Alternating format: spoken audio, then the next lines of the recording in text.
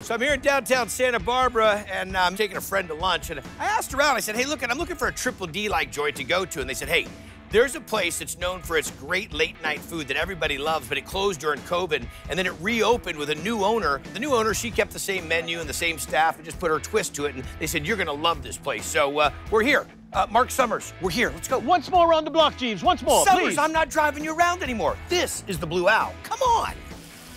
Sweetheart burrito for you. It does have a Thai background, but I can bring anyone here and they're gonna find something that they love. That's because when Nadia Ajluni took over this joint, she was looking to make everyone happy, including herself. Combining all of my interests hospitality, cooking, business, music, bringing people together this seemed like the perfect job. Thank you guys for coming in. I'm here during lunch, late night. It's a great place to hang out, great food.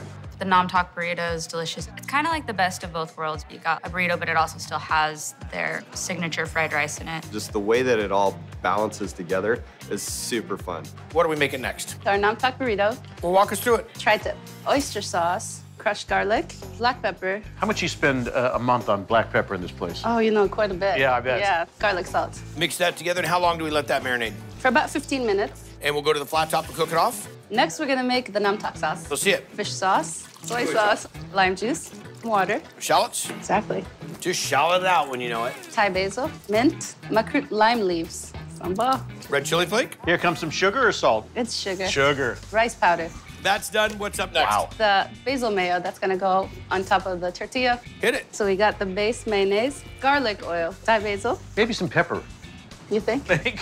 Garlic salt. Fresh garlic. We're ready to put it together. Let's see it.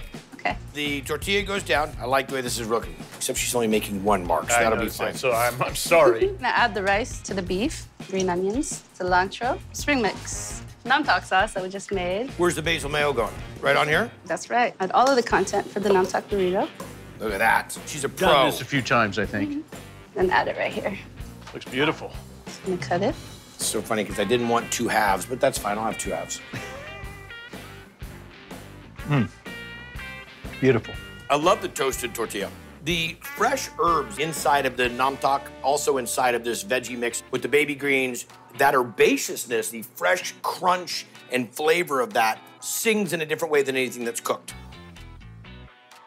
You get this tender but seasoned beef. Those are kind of like the little surprises, those little nuggets. I've been to three restaurants today. I'm eating that burrito like it's the first thing I had all day. oh, damn Nam Tok um, burrito is spice of life, hands down. The meat kind of has a sweet, mild flavor to it and really juicy as well.